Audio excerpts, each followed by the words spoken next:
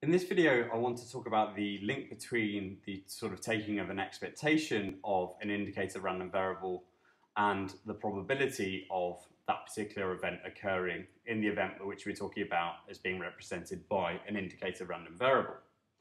So let's think about, first of all, what it actually means to take the expectation of any discrete random variable. And the example I'm going to give here is where x, or random variable x, represents the throwing of a fair die. So the sort of random variable can take on a whole range of values, sort of 1, 2, 3, 4, 5, or 6.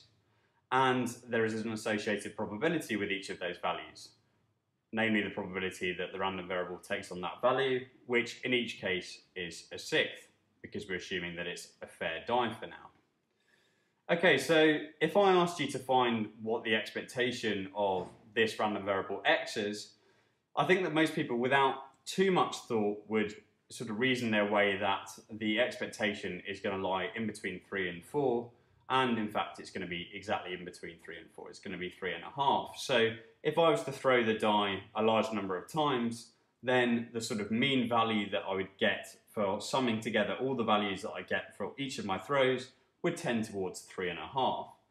But how can we sort of prove this mathematically? Well, the answer is we just use our sort of rule for finding the expectation of a discrete random variable. The expectation of a discrete random variable is defined as the sum over all sort of values which that random variable can take of the sort of values which it takes times the probability of that particular value occurring. So in the case of a fair die, we're just going to have sort of the first pair is going to be the first term in our sum. So that's just going to be 1 times 1 sixth. And then, so that, that's the sort of first value when x equals 1. And then we're going to have our second pair, which is just going to be 2 times 1 sixth. Yeah, and we're going to continue sort of adding up all the way till 6 times 1 sixth. And it turns out that if I was to just add all this up on my calculator, then I would get 21 over 6, which is just 3.5. So we've just proved mathematically that the expectation of a fair die is actually 3.5.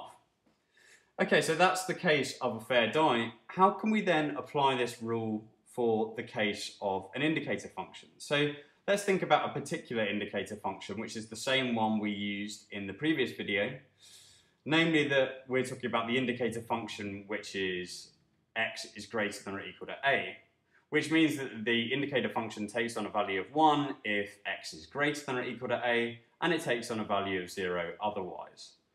So if we sort of draw this function, what it looks like is it looks like we're just going to have 0 up until the point where x equals a, and then it's going to be equal to 1. So if we just mark in the values, we've got 0 here, and then when x hits a, it then becomes 1. So let's think about how we could find the expectation of this indicator function, because it's really a discrete random variable because it just takes on one of two values. So we can just use this formula up here.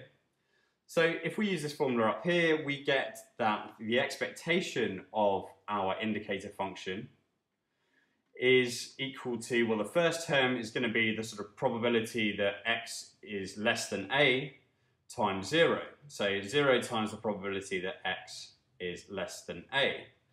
And that's the sort of first term. The second term is going to be when, when the indicator function actually represents 1 rather. So that's just going to be 1 times the probability that x is greater than or equal to a.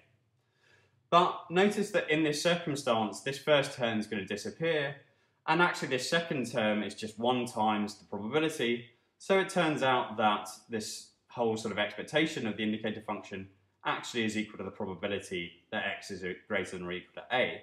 Or in general, for other indicator functions, uh, the expectation of that indicator function is equal to the probability of that particular event occurring. And this is quite an interesting result because it's connected the expectation of the indicator function with the probability. And this is something which is quite important in statistics and actually Joe Blitzstein talks about it in his great series of lectures and he calls it the fundamental bridge between the expectation and the probability. Anyway, just a short video just to explain what I said quite hurriedly, hurriedly at the end of the last video and I hope that helps.